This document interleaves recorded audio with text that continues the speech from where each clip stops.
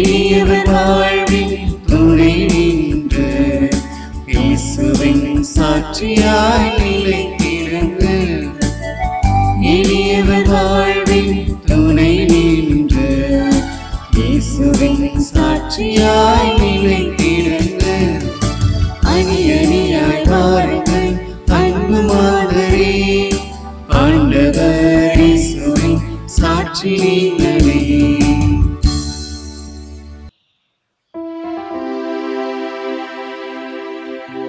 தந்தை மகன் தூயாவியாரின் பெயராலே.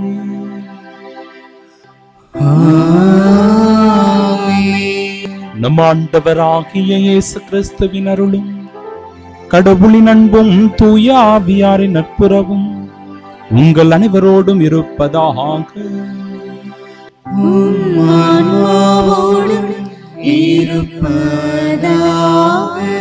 அன்பார்ந்த சகோதர சகோதரிகளே இன்று நம் தாயாம் திரு அவை திருத்தூதர்கள் புனிதர்களான பேதுரு பவுல் பெரும் கோவில் நேர்ந்தளிப்பு விழாவினை தாயாம் திரு அவையோடு இணைந்து நாம் சிறப்பித்து கொண்டாடுகிறோம். அவர்களை நீர் உலகுக்கெல்லாம் இளவரசராக்கினீர். வழி வழியாய் உம் பெயரை அவர்கள் நினைவு கூறுவார்கள். அதனால் எல்லா இனத்தாரும் உம்மை என்றென்றும் வாழ்த்திடுவர்.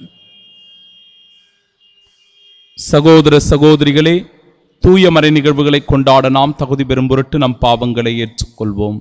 எல்லாம் வல்ல இறைவனிடமும். சகோதர சகோதரிகளே உங்களிடமும் நான் பாவியனை ஏற்றுக்கொள்கின்றேன். ஏனெனில் என் சிந்தனையாலும் சொல்லாலும் செயலாலும் கடமையில் தவறியதாலும் பாவங்கள் பல செய்தேன். என் பாவமே என் பாவமே என் பெரும் பாவமே. ஆகையால் எப்போதும் கனியான புனித மரியாதையும் வானதூதர் புனிதர் அனைவரையும் சகோதர சகோதரிகளே உங்களையும் நாம் இறைவனாகிய ஆண்டவரிடம் எனக்காக வேண்டிக் கொள்ள மன்றாடுகிறேன். எல்லாம் வல்ல இறைவன் நம்மீது இரக்கம் வைத்து நம் பாவங்களை மன்னித்து நமக்கு நிலை வாழ்வை அருள்வாராக. ஆமீன்.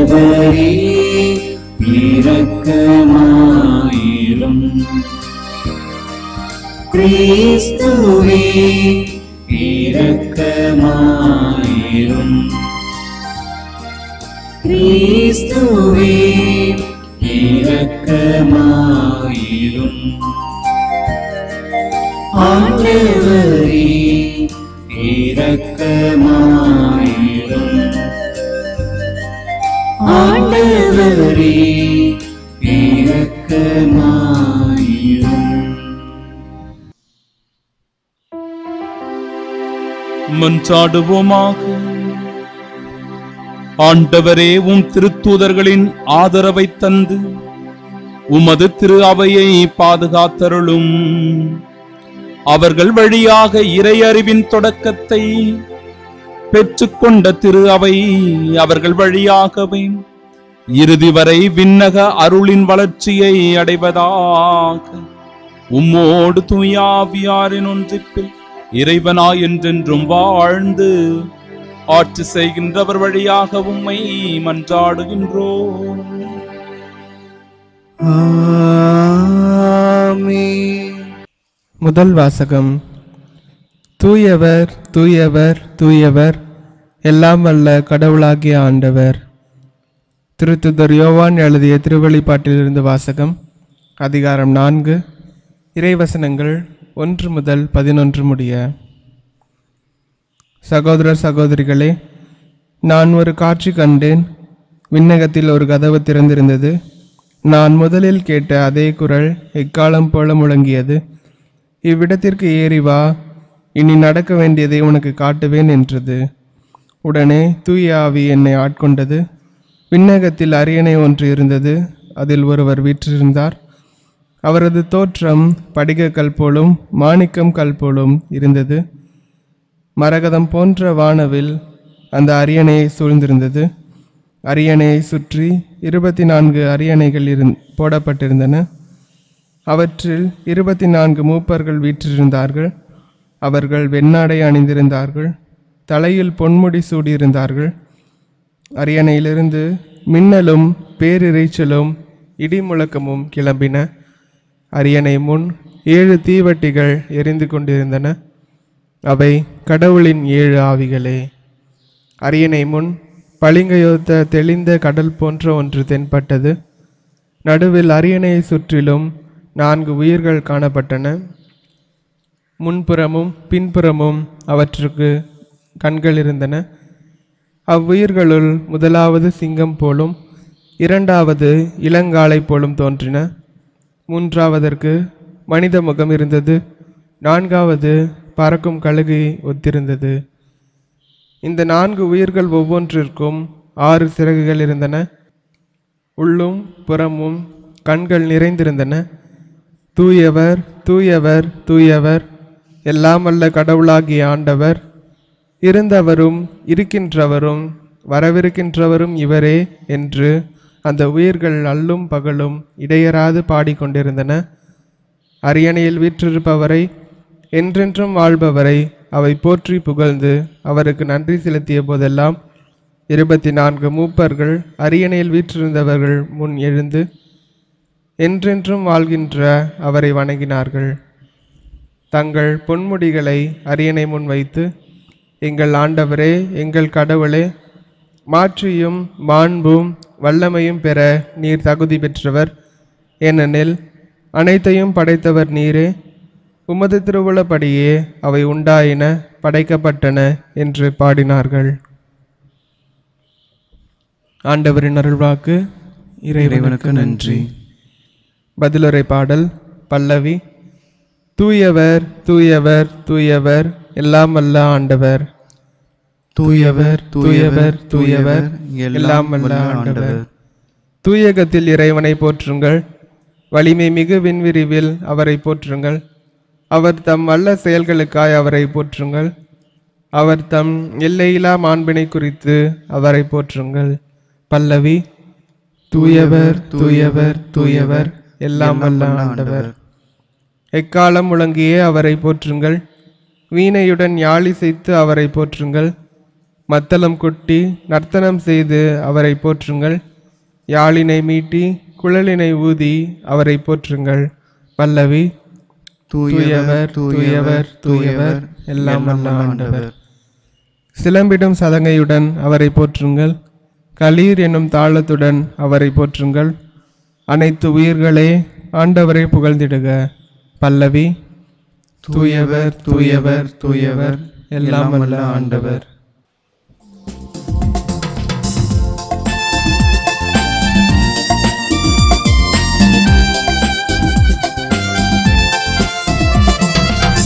Hallelujah. Hallelujah. Hallelujah.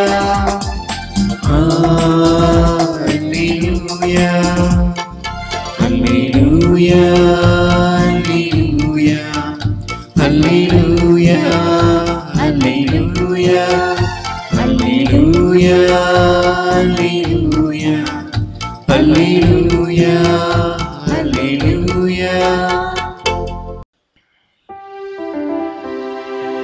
ஆண்டவர் உங்களோடு இருப்பாராக. ஆன்மாவுடன் இருப்பதாக. தூயலூக்கா எழுதி பரிசுத்த நற்செய்தியிலிருந்து வாசகம். ஆண்டவரே மாட்சி உமக்கே. அதிகாரம் பத்தொன்பது இறைவார்த்தைகள் பதினொன்று முதல் இருபத்தி எட்டு முடிய. அக்காலத்தில் இயேசு எருசலேமை நெருங்கி வந்து கொண்டிருந்தார். அவர் சொன்னதை கேட்டுக் கொண்டிருந்தவர்கள் இறையாட்சி உடனடியாக தோன்றப் போகிறது என்று நினைத்தார்கள். அப்போது இயேசு மேலும் ஓர் ஓமையை சொன்னார். உயர் குடிமகன் ஒருவர் ஆட்சி உரிமை பெற்றுவர தொலைநாட்டிற்கு போக புறப்பட்டார். அப்போது அவர் தம் பணியாளர்கள் பத்து பேரை அழைத்து பத்து மினாக்களை அவர்களிடம் கொடுத்து அவர்களை நோக்கி நான் வரும் வரை இவற்றை வைத்து வாணிகம் செய்யுங்கள் என்று சொன்னார். அவருடைய குடிமக்களோ அவரை வெறுத்தனர். எனவே இவர் அரசராக இருப்பது எங்களுக்கு விருப்பமில்லை என்று சொல்லி தூது அனுப்பினர். இருப்பினும் அவர் ஆட்சி உரிமை பெற்று திரும்பி வந்தார். பின்னர் தம்மிடம் பணம் வாங்கியிருந்த பணியாளர்கள் ஒவ்வொருவரும் ஈட்டியது எவ்வளவு என்று அறிய அவர் அவர்களை கூப்பிட்டு அனுப்பினார்.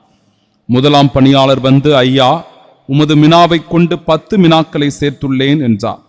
அதற்கு அவர் அவரிடம் நன்று நல்ல பணியாளரே மிகச் சிறிய பொறுப்புகளை நம்பிக்கைக்குரியவராயிருந்தீர். எனவே பத்து நகர்களுக்கு அதிகாரியாயிரும் என்றார். இரண்டாம் பணியாளர் வந்து ஐயா உமது மினாவைக் கொண்டு ஐந்து மினாக்களை ஈட்டி உள்ளேன் என்றார். அவர் எனவே நீர் ஐந்து நகர்களுக்கு அதிகாரியாயிரும் என்று அவரிடமும் சொன்னார் வேறொருவர் வந்து ஐயா இதோ உமது மினா ஒரு கைக்குட்டையில் முடித்து வைத்திருக்கிறேன்.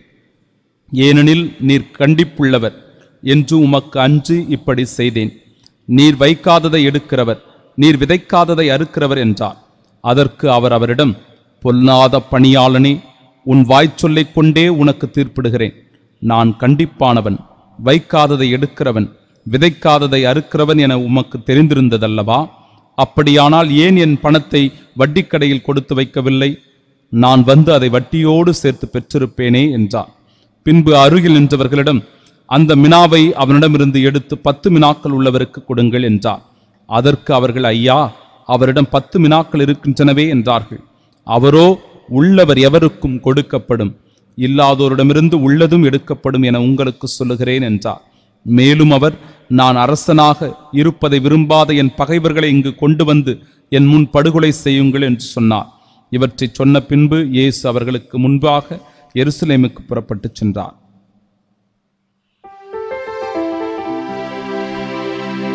ஆண்டவரின் அருள்வாக்கு கிறிஸ்துவே உமக்கு புகழ். வாழ்வில் வெற்றி பெறுவதற்கு சில ரகசியங்கள் உண்டு. குறிப்பாக சொல்லப்போனால் முதலீடு செய்வது. எதை முதலீடு செய்வது? பணத்தையா? சொத்துகளையா? அல்லது நாம் பெற்றிருக்கிற பட்டங்களையா? எதை முதலீடு செய்வது? அன்பிற்குரியவர்களே நம்முடைய நேரத்தை முதலீடு செய்வோம். நமது ஆற்றலை முதலீடு செய்வோம். நமக்கு இருக்கிற வளங்களை முதலீடு செய்வோம். நமக்கு இருக்கிற திறமைகளை கூட நாம் முதலீடு செய்வோம். அப்படி முதலீடு செய்தால் நிச்சயமாக நம்முடைய வாழ்வில் வளர்ச்சி ஏற்படும். நம்மிடம் இருப்பதை கொடுக்கும் போதுதான் அது நிறைவாக மாறுகிறது. இன்னும் அதிகமாக அது உருவாகிறது என்பதை அன்பிற்குரியவர்களே இன்றைய நற்செய்தி நமக்கு எடுத்து கூறுகிறது. ஒரு தாளந்து என்று சொல்லப்படுகிற ஒரு மினாவை அன்பிற்குரியவர்களே இன்றைய நற்செய்தி எடுத்து கூறுகிறது. ஒன்றை எவ்வாறு பத்தாக ஒருவர் பெருக்கினார்? ஒன்றை எவ்வாறு ஐந்தாக மற்றொருவர் பெருக்கினார் என்று பார்க்கும்போது அதை வைத்து முதலீடு செய்கிற போது அது பத்தாக ஐந்தாக இரண்டாக மாறுவதை நம்மால் உணர்ந்து கொள்ள முடிகிறது. வளர்ச்சி அடைய அன்பிற்குரியவர்களே நம்முடைய திறமைகளை நேரங்களை ஆற்றலை வளங்களை நாம் முதலீடு செய்ய வேண்டும். வளர்ச்சி அடையாமல் இருப்பதற்கும் சில காரணங்கள் உண்டு. வாழ்வில் நாம் வளரவே மாட்டோம். எதிலும் ஒரு நிறைவு இருக்காது. ஏன் அப்படி இருக்கிறோம் என்று பார்க்கும்போது நம்முடைய முயற்சியின்மை அதற்கு காரணமாக இருக்கும். நம்முடைய சோம்பேறித்தனம் அதற்கு ஒரு காரணமாக இருக்கும். நம்முடைய நிலையை உணராத தருணங்கள் அதற்கு ஒரு காரணமாக இருக்கும். வாழ்வில் ஒரு நோக்கமோ லட்சியமோ இலக்கோ இல்லாமல் இருப்பது ஒரு காரணமாக இருக்கும். அன்பிற்குரியவர்களே பயமும் அச்சமும் கூட ஒரு காரணமாக இருக்கும் நம்முடைய வாழ்வில் நாம் வெற்றி பெறாமல் இருப்பதற்கு. வாழ்வில் இன்னும் மேன்மேலும் உயராமல் இருப்பதற்கு இவைகள் எல்லாம் காரணங்களாக இருக்கலாம். எனவே நம்மிடம் இருப்பதை நாம் உணர்ந்து கொள்ள வேண்டும். நம்மிடம் இருப்பதை பிறருக்கு கொடுக்க வேண்டும். அதை மேலும் மேலும் வளர்ப்பதற்காக நாம் முயற்சி செய்ய வேண்டும். இரையாற்று எப்பொழுது வரும் என்று கேள்வி கேட்டுக்கொண்டிருப்பதை விட இரையாட்சிக்கு என்னை நான் எப்படி தயார் செய்து கொள்ள முடியும் என்று சிந்திப்பதுதான் அன்பிற்குரியவர்களே ஞானம் உள்ளவர்களுடைய செயல்பாடாக இருக்கும். அது எப்பொழுது வேண்டுமானாலும் வரட்டும். அதற்காக நான் இன்றே இப்பொழுதே ஆயத்தமாயிருப்பேன் தயாராக இருப்பேன் விழிப்போடு இருப்பேன் என்கிற உணர்வு நமக்குள் வேண்டும் என் அன்பிற்குரியவர்களே. இறையாட்சியில் இடம் பெறுவதற்கு பங்கு பெறுவதற்கு நான் எதை முதலீடு செய்யப் போகிறேன்? நான் எதை முதலீடு செய்திருக்கிறேன்? இறையாட்சியில் பங்கு பெறுவதற்கு நான் எதை முதலீடு செய்திருக்கிறேன்? சிந்தித்து பார்க்க அழைக்கப்படுகிறோம் அன்பிற்குரியவர்களே. பத்து மினாக்களை பெருக்கியவருக்கு ஆசிர்வாதம் கிடைக்கிறது. பத்து நகர்களுக்கு நீ அதிகாரியாயிரு. ஐந்து மினாக்களை உருவாக்கியவருக்கு ஐந்து நகர்களுக்கு நீ அதிகாரியாயிரு என்று சொல்லும்போது அது ஆசிர்வாதமாய் அருளாய் மாறுகிறது. அதே நிலையில் கைக்குட்டையில் முடித்து வைத்து இதோ அந்த மினாக்களை பயன்படுத்தாத நிலையில் இருந்தவருக்கு தண்டனையே கிடைக்கிறது என்பதை நாம் உணர்ந்து கொள்கிறோம். இன்றைய முதல் வாசகத்திலும் கூட பல அடையாளங்கள் கொடுக்கப்படுகிறது. அரியணை என்கிற ஒரு அடையாளம் அது எதை குறிக்கிறது என்றால் கடவுளுடைய மாட்சியை குறிக்கிறது. அவருடைய மகிமையை வெளிப்படுத்துவதாக அந்த அரியணை அமைந்திருக்கிறது. கதவு திறந்திருக்கிறது என்று சொல்லப்பட்ட அந்த அடையாளம் அன்பிற்குரியவர்களே இறைவனை பற்றி அறிவதற்கும் விண்ணரசை பற்றி தெரிந்து கொள்வதற்கும் இறையாட்சியை பற்றி நாம் உணர்ந்து கொள்வதற்கும் கதவு திறந்திருக்கிறது என்பதனுடைய அடையாளம் பொருளாய் அமைந்திருக்கிறது. இருபத்தி நான்கு மூப்பர்கள் அந்த இடத்தில் அமர்ந்திருந்தார்கள் என்று பார்க்கும்போது பனிரெண்டு யூதர்களுடைய குலங்களும் பனிரெண்டு திருத்துதர்களும் இருபத்தி நான்கு மூப்பர்களாக இந்த இடத்தில் அடையாளம் காட்டப்படுகிறார்கள். ஏழு தீவட்டிகள் என்று சொல்லப்படுகிறது. அது தூய ஆவியாருடைய கொடைகளாக வரங்களாக நம் மீது பொழியப்படுகிற ஏழு தீவட்டிகளாக அமைந்திருக்கிறது. அன்பிற்குரியவர்களே நான்கு உயிர்கள் என்று முதல் வாசகம் அடையாளம் காட்டுகிறது. எது அந்த நான்கு உயிர்கள்? சிங்கம் இளம் காலை மனித முகம் கழுகு. இது எதனுடைய அடையாளம் என்று பார்க்கும்போது சிங்கமானது மாட்சிமையினுடைய அடையாளம் வலிமையினுடைய அடையாளம் என்பதை உணர்ந்து கொள்ள வேண்டும்.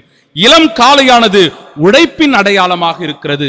மனித முகம் ஞானத்தினுடைய வெளிப்பாடாய் அடையாளமாய் அமைந்திருக்கிறது. கழுகு முகம் அன்பிற்குரியவர்களே வேகத்தினுடைய அடையாளமாக இருக்கிறது. இவையெல்லாம் படைப்பினுடைய மேன்மையை நமக்கு எடுத்து கூறுவதாய் அமைந்திருக்கிறது.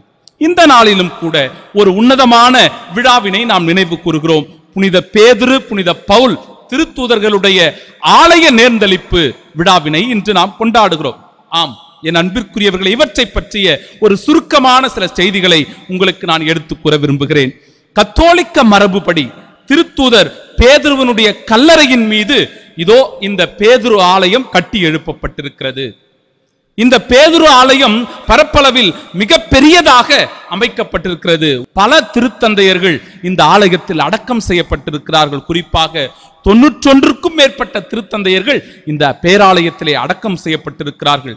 இதனுடைய பணியானது ஆயிரத்து ஐநூற்று ஆறு முதல் ஆயிரத்து அறுநூற்று இருபத்தி ஆறு வரை ஏறக்குறைய நூற்று இருபத்தி ஆறு ஆண்டுகள் இந்த ஆலயத்தை அவர்கள் கட்டி எழுப்பி இருக்கிறார்கள். அப்பொழுதுதான் அந்த பதினெட்டாவது நாளில் நிறைவு பெற்ற அந்த உன்னதமான நாளைத்தான் இந்த நாம் நினைவு கூர்ந்து அதை நேர்ந்தளிப்பு செய்த நாளாக ஜெபித்துக் கொண்டிருக்கிறோம் அன்பிற்குரியவர்களே.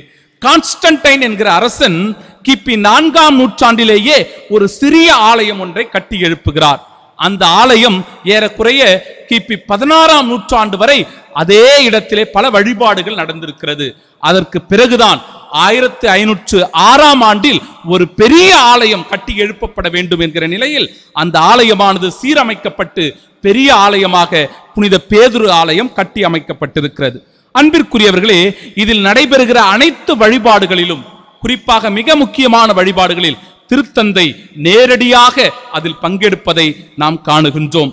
அது மட்டுமல்லாமல் என் அன்பிற்குரியவர்களே திருத்தந்தையினுடைய இருக்கை என்று சொல்லப்படுகிற இடமாக இந்த பேதுரு ஆலயம் அமைந்திருக்கிறது.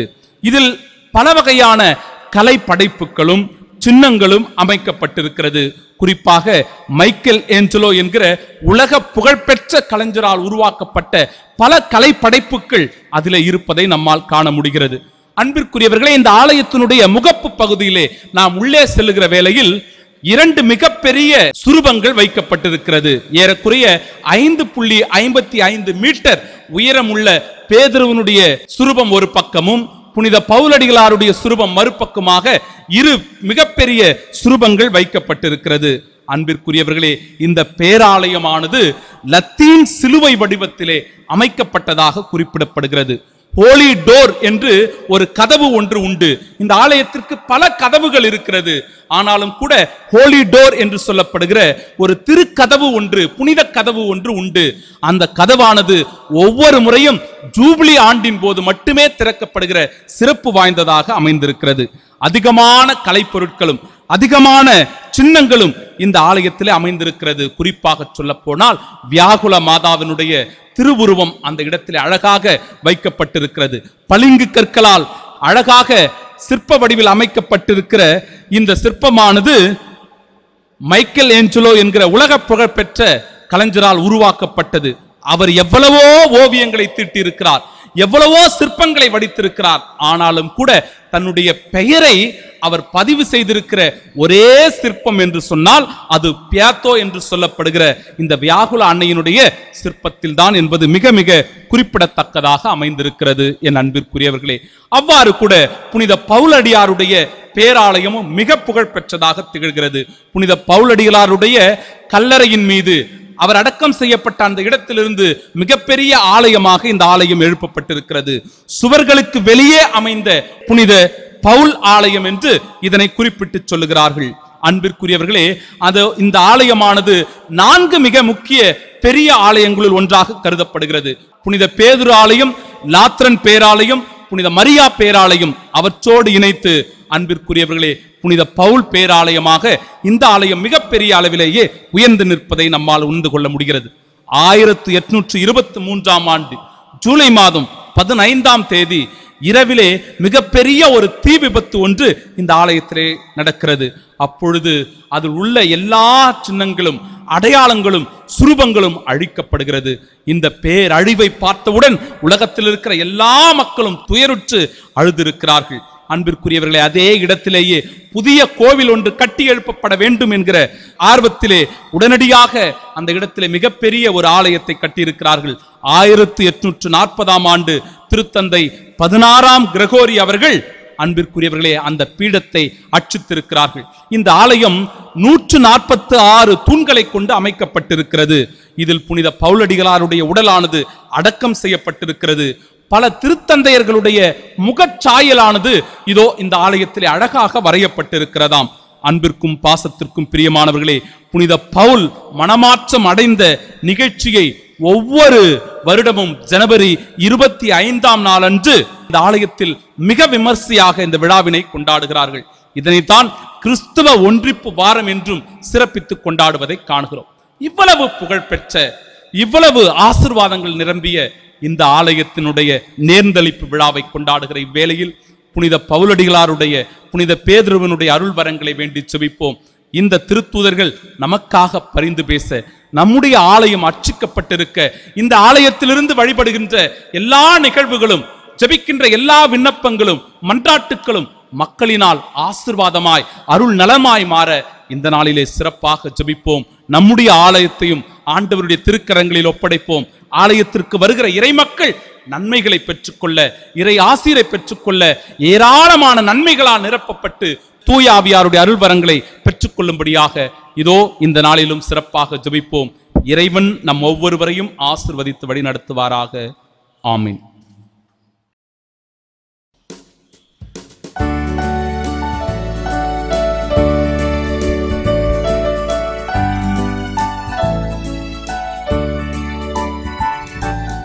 எல்லாம் தருகின்றேன்.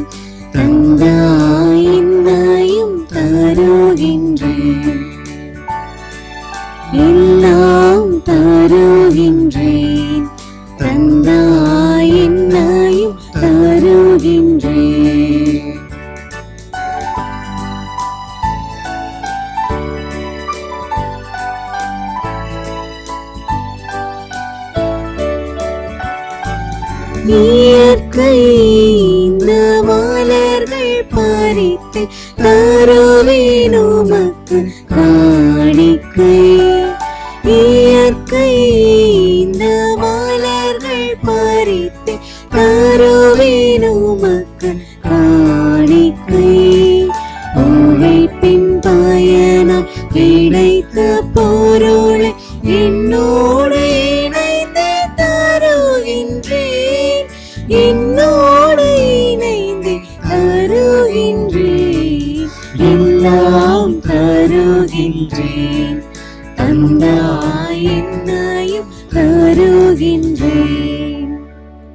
அன்புமிக்க சகோதர சகோதரிகளே என்னுடையதும் உங்களுடையதுமான இப்பலி எல்லாம் வல்ல இறைவனுக்கு உகந்ததாகும்படி மன்றாடுங்கள். ஆண்டவர் தமது பெயரின் புகழ்ச்சிக்காகவும் மாட்சிக்காகவும் நமது நன்மைக்காகவும் புனித திரு அவை அனைத்தின் நலனுக்காகவும் உமது கையிலிருந்து இப்பலி ஏற்றுக்கொள்வாராக. ஆண்டவரே எங்கள் பணியின் காணிக்கையை ஒப்பு கொடுத்து உமது கனிவை வேண்டுகின்றோம். அதனால் பேதுரு பவுல் எனும் திருத்தூதர்களின் பணியால் நாங்கள் பெற்றுக்கொண்ட உண்மை எங்கள் இதயங்களில் நிறைவாக நிலை பெறுவதாக எங்கள் ஆண்டவராகிய இயேசு கிறிஸ்து வழியாக உமை மன்றாடுகின்றோம். ஆண்டவர் உங்களோடு இருப்பாராக. ஆன்மாவோடும் இதயங்களை மேலே எழுப்புங்கள். ஆண்டவரிடம் எழுப்பியுள்ளோம். நம் இறைவனாகிய ஆண்டவருக்கு நன்றி கூறுவோம். அது தகுதியும் நீதியும் ஆண்டவரே தூயவரான தந்தையே என்றும் உள்ள எல்லாம் வல்ல இறைவா என்னாலும் இவ்விடத்திலும் நாங்கள் உமக்கு நன்றி செலுத்துவது மெய்யாகவே தகுதியும் நீதியுமாகும். எங்கள் கடமையும் மீட்புக்குரிய செயலுமாகும்.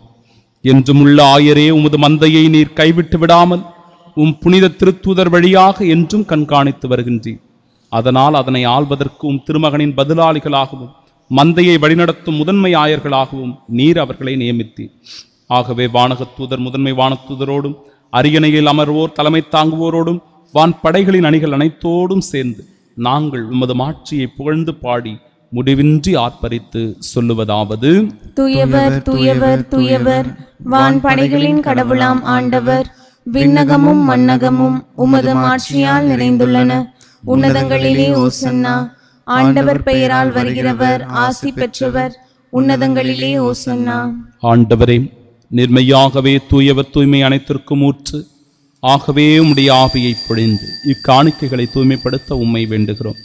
இவ்வாறு எங்கள் ஆண்டவர் இயேசு கிறிஸ்துவின் உடலும் இரத்தமுமாக எங்களுக்கு இவை மாறுபனவா அவர் பாடுபட உளம் கணிந்து தம்மை கையளித்த போது அப்பத்தை எடுத்து நன்றி செலுத்தி அதை பிட்டு தம் சீடர்களுக்கு அளித்தவர் கூறியதாவது. அனைவரும் இதிலிருந்து பெற்று உண்ணுங்கள். ஏனெனில் இது உங்களுக்காக கையளிக்கப்படும் என் உடல்.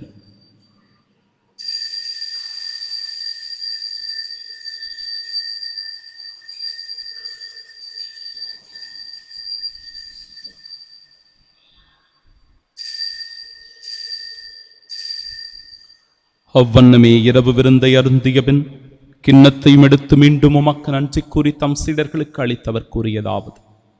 அனைவரும் இதிலிருந்து பெற்று பருகுங்கள். ஏனெனில் இது புதிய நிலையான உடன்படிக்கைக்கு உரிய என் இரத்தத்தின் கிண்ணம். இது பாவ மன்னிப்பிற்கென்று உங்களுக்காகவும் பலருக்காகவும் சிந்தப்படும். இதை என் நினைவாகச் செய்யுங்கள்.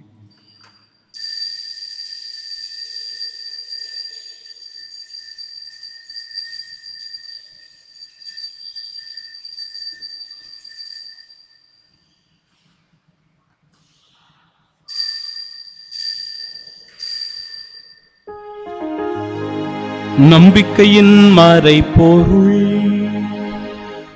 ஆண்டவரே நீர் வருமளவும் உமது இறப்பினை அறிக்கையிடுகின்றோ. உமது உயிர்ப்பினையும் எடுத்துரைக்கின்றோ. ஆகவே ஆண்டவரே நாங்கள் கிறிஸ்துவின் இறப்பினையும் உயிர்ப்பினையும் நினைவு கூர்ந்து வாழ்வு தரும் அப்பத்தையும் எங்கள் வாழ்விற்கு மீட்பினை அளிக்கும் இக்கிண்ணத்தையும் ஒப்புக் கொடுக்கிறோம். உம் திருமணின் குழியும் பெரிய தகுந்தவர்களாக எங்களை ஏற்றுக்கொண்டு எனவே மக்கள் நன்றி செலுத்துகிறோம். மேலும் கிறிஸ்துவின் உடலிலும் ரத்தத்திலும் பங்கு கொள்ளும் எங்களை தூய் ஆவியார் ஒன்று சேர்க்க வேண்டுமென உமை தாழ்மையுடன் மன்றாடுகிறோம். ஆண்டவரே உலகெங்கு பரவியிருக்கும் அது திரு அவையை நினைவு கொண்டருளும் எங்கள் திருத்தந்தை பிரான்சிஸ் எங்கள் பெயராகிய ஜார்ஜ் அந்தோனி சாமி எல்லா திருநிலையினர் ஆகிய அனைவரோடும் அது திரு அவை அன்பில் நிறைவு பெறச் செய்தருளும். தந்தையை உயிர்த்தெழுமது நோக்குடன் துயில் கொள்ளும் எங்கள் சகோதர சகோதரிகளையும் இறந்தோர் அனைவரையும் இறக்கத்துடன் நினைவு கூர்ந்தும் அது திருமுக ஒளியை நேற்றலும் எங்கள் அனைவர் மீதும் இறக்கமாயிரும் கடவுளின் கன்னித்தாயான தூய மரியா அவருடைய அன்பு கணவரான புனித யோசிப்பு புனித திருத்தூதர்கள் இவ்வுலகிலும் உகந்தவர்களாய் இருந்தோர் ஆகிய புனிதர் அனைவருடனும் நாங்கள் நிலை வாழ்வில் பங்கு கொள்ளும் தகுதி பெற்றும் திருமகன் இயேசு கிறிஸ்து வழியாக உம்மை புகழ்ந்தேத்து மரமருள உம்மை மன்றாடுகின்றோம்.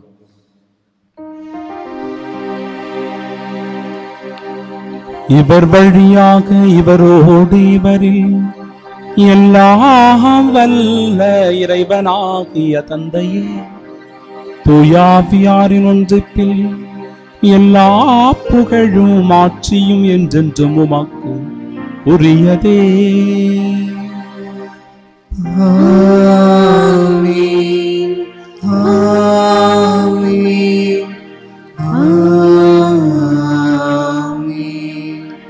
மீட்பரின் கட்டளையால் கற்பிக்கப்பட்டு இறைப்படிப்பினையால் பயிற்சி பெற்ற நாம் இணைந்து செபிப்போமாக விண்ணுலகில் இருக்கிற எங்கள் தந்தையே. உமது பெயர் தூயதென போற்ற பெருக உமது ஆட்சி வருக. உமது திருவுளம் விண்ணுலகில் நிறைவேறுவது போல மண்ணுலகிலும் நிறைவேறுக. எங்கள் அன்றாட உணவை இன்று எங்களுக்கு தாரும். எங்களுக்கு எதிராக குற்றம் செய்வோரை நாங்கள் மன்னிப்பது போல எங்கள் குற்றங்களை மன்னியும். எங்களை சோதனைக்கு உட்படுத்தாதேயும் தீமையிலிருந்து எங்களை விடுவித்தருளும். ஆண்டவரே தீமை அனைத்திலும் இருந்தும் எங்களை விடுவித்து எங்கள் வாழ்நாளில் அமைதியை கனிவுடன் அருளும் மன்றாடுகிறோம் உமது இரக்கத்தின் உதவியால் நாங்கள் பாவத்திலிருந்து எப்பொழுதும் விடுதலை பெற்று யாதொரு கலக்கமுமின்றி நலமோடு வாழ்வோமாக. நாங்கள் எதிர்நோக்கியிருக்கும் பேரின்பத்திற்காகவும் எமீட்பராகிய இயேசு கிறிஸ்துவின் வருகைக்காகவும் காத்திருக்கின்றோம். ஏனெனில் ஆட்சியும் வல்லமையும் மாட்சியும் என்றென்றும் உமதே. ஆண்டவரே இயேசு கிறிஸ்துவே அமைதியை உங்களுக்கு விட்டுச் செல்கிறேன்.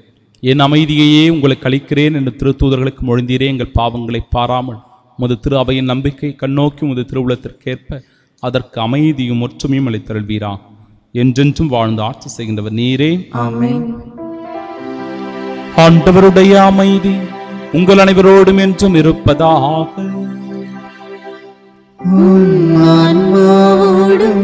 இருப்பதாக. ஆண்டவர் இயேசு தரும் அமைதியை ஒருவர் மற்றவரோடு பகிர்ந்து கொள்வோம். சமாதானம்.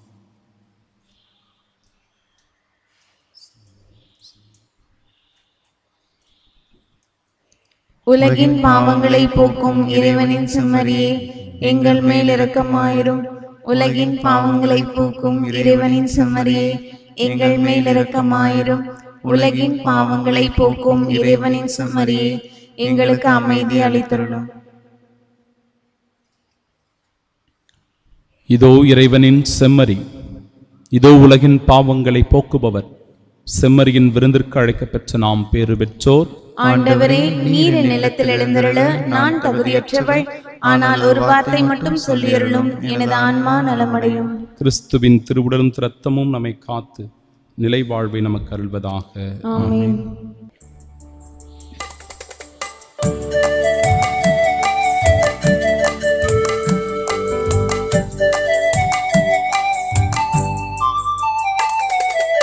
இந்நிறை தேவன் நீற்றிய தீபமே பாமரன் பாடு தன்னிறை என்பால் தான் கண்ட ஜீவன பரமனின் பாதம். இந்நிறை தேவன் நீற்றிய தீபமே பாமரன் பாடு தன்னிறை என்பால் தான் கண்ட ஜீவன பரமனின் பாதம். என்னாதமே என் பண்ணாகுமே என்னாலுமே தேவன் ஏற்றிய தீபமே பாமரின் பாடல். தண்ணீரை என்பால் தான் கண்ட ஜீவனம் பரமனின் பாதம். திருவிருந்துக்கு பின் ஜெபம் கிறிஸ்துவின் ஆன்மாவே. என்னை புனிதமாக்கும். கிறிஸ்துவன் திருவுடலே. என்னை மீட்டருளும். கிறிஸ்துவன் திரு ரத்தமே எனக்கு எழுச்சியூட்டும். கிறிஸ்துவின் விழாவின் தண்ணீரே. என்னை கழுவிடுமே. கிறிஸ்துவின் பாடுகளே. என்னை தேய்ச்சிடுமே ஓ நல்ல இயேசுவே. எனக்கு செவிசாயும். உம் திருக்காயங்களுக்குள் என்னை மறைத்தருளும். உம்மிடமிருந்து என்னை பிரிய விடாதேயும். தீய பகைவரிடமிருந்து என்னை காத்தருளும். எனது இறப்பின் வேளையில் என்னை அழைத்தருளும். உம்மிடம் வர எனக்கு கட்டளையிட்டருளும். புனிதர்களோடு எக்காலம் உம்மை புகழ செய்யும். ஆமென்.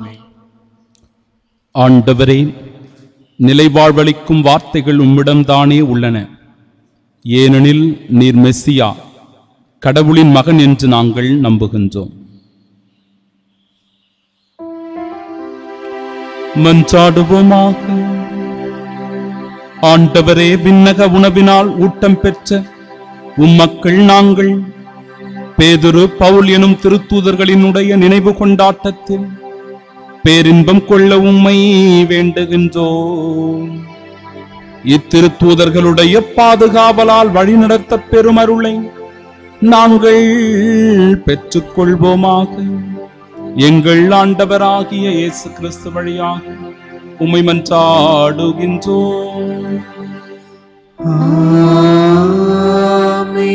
ஆண்டவர் உங்களோடு இருப்பாராக. ஆன்மாவோடும் இருப்பாராக எல்லாம் வல்ல இறைவன்.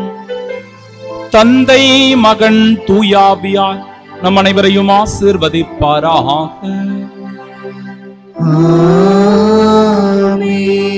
ஆலயங்கள் இறைவன் வாழும் இல்லம் என்பதை உணர்ந்து சென்று வாழுவோம். வாழ்வின் பணி தொடரட்டும்.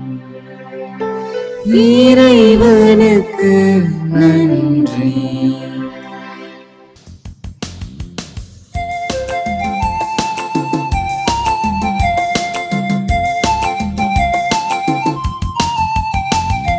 எங்கள் காவலாம் சூசை தந்தையின் மங்களங்கள் எங்கும் சொல்லி இங்கு பாடுவோம். எங்கள் காவலாம் சூசை தந்தையின் மங்களங்கள் எங்கும் சொல்லி இங்கு பாடுவோம். செங்கை அதிலே தங்க புஷ்பம் தங்க கூலை எங்கிடும் செங்கை அதிலே தங்க புஷ்பம் தங்க கூலை எங்கிடும் எங்கள் காவலா